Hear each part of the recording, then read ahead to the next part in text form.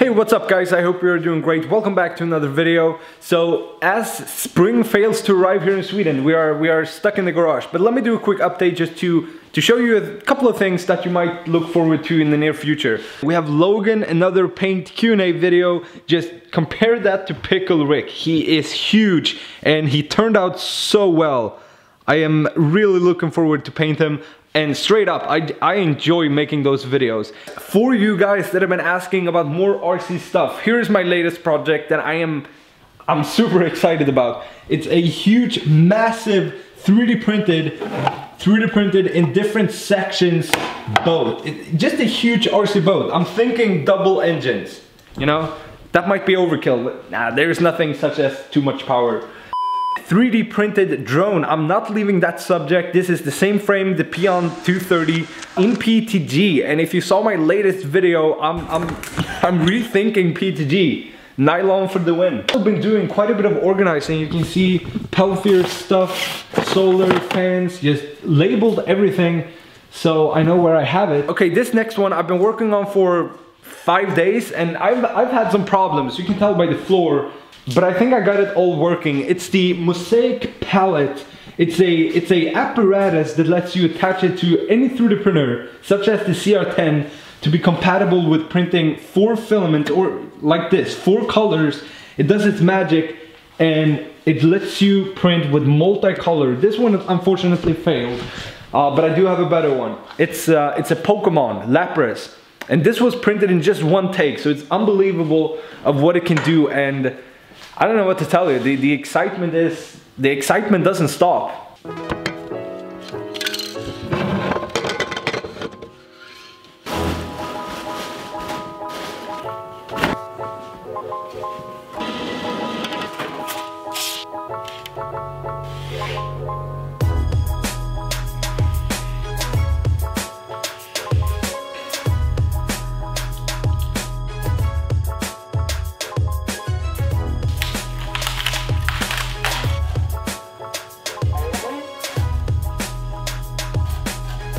3D printed stencils. This is an idea that I had a long time ago. I never got around doing it. And with all the YouTubers dropping their merchandise right now, I thought it would be cool making it your own. Like how many YouTubers actually make their own merchandise and sell? I thought it would be pretty cool. 3D printing straight onto fabric is one, it's difficult. Two, it doesn't hold in the washing machine. And three, it, it, it, you can get it to look fairly good, but it's not perfect. So what's so great about 3D printed stencils? They make this incredibly oddly satisfying sound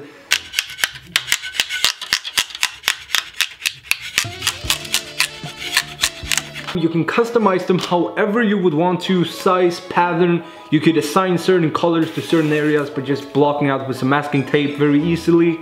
Printing time for a half decent size stencil is not more than one, two hours. Using spray paints or even oil-based paints that will last a lot better in the washing machine. Will you be able to print a stencil thin and flexible enough for it to block any spray paint? And probably the most important thing, will we get sharp edges?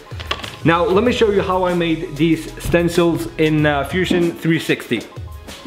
This will be very much like when we 3D printed straight onto the t-shirt. Same process, there's really not much to it.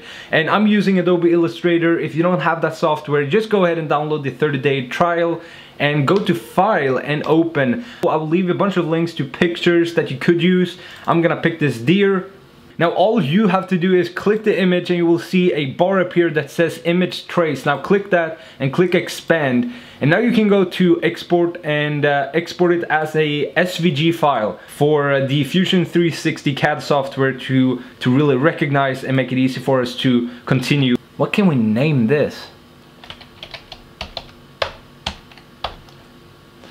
Next up is Fusion 360. Go and uh, insert the SVG click the plane, click your uh, Rudolph 2.0. Doesn't have to be thicker than 0.4 millimeters, that's two layers. If you have really good bed leveling, you could probably get away with just the one, but, but just cutting off the edges like that just saves a lot of time as well. I might even have to use the CR10 500 for this, but right now I'm rocking the Creality CR10 edge to edge on the build plate, so let's hope for the best and let's start printing.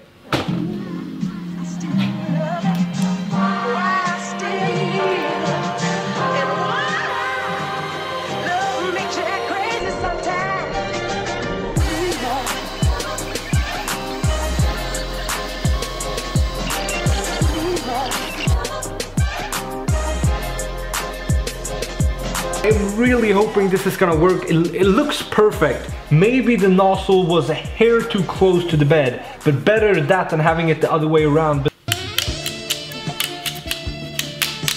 this alone looks freaking awesome. Imagine it on a t-shirt.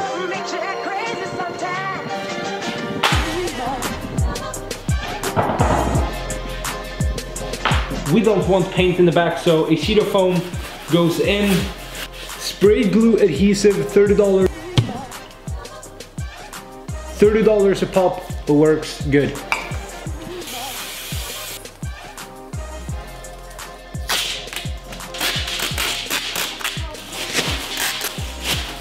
A little longer than a few minutes later.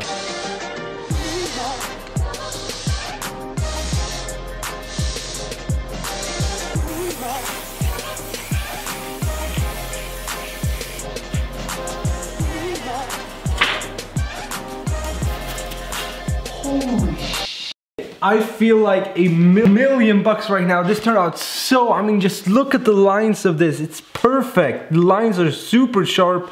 It even managed the small details.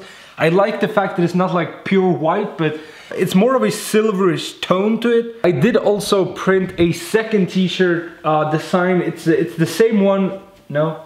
It's the same one, but with colors, but unfortunately it blends too much with the black, so you, the, the colors doesn't really enhance too well. It doesn't look all that great. I mean, I, I would wear it any, any days of the week, but it, it doesn't it doesn't pop like this one does.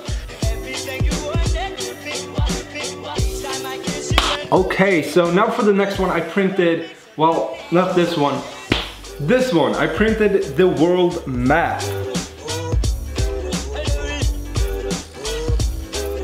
I printed this on the CR10 500 huge 3D printer, 480 millimeters wide, so it's it's pretty much as far as you can go and it covers the t-shirt beautifully I think and I tried to be a bit more artistic by blending the colors, mixing it. I mean I think it looks great but you might need a few practice runs for it to look world class. And this might literally be a painting I'm putting up on the wall and I'm happy that you just have to print one of these and move around to different t-shirts because this one took around 5 hours to print.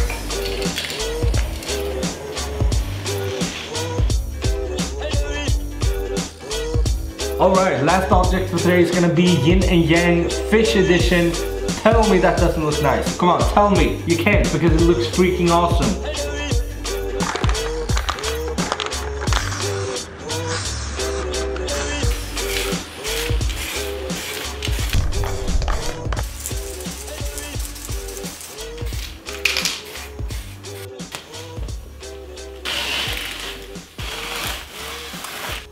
I am really not a huge fan of tank tops. I feel a bit uncomfortable right now, but at least you can see that I'm bodybuilding. That's weird. I am actually shocked by how well that print turned out. Let me do some close-ups.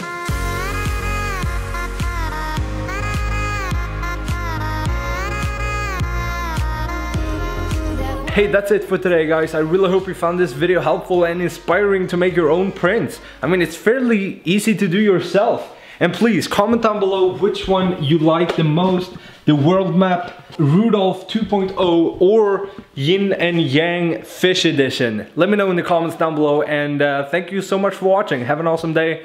Bye.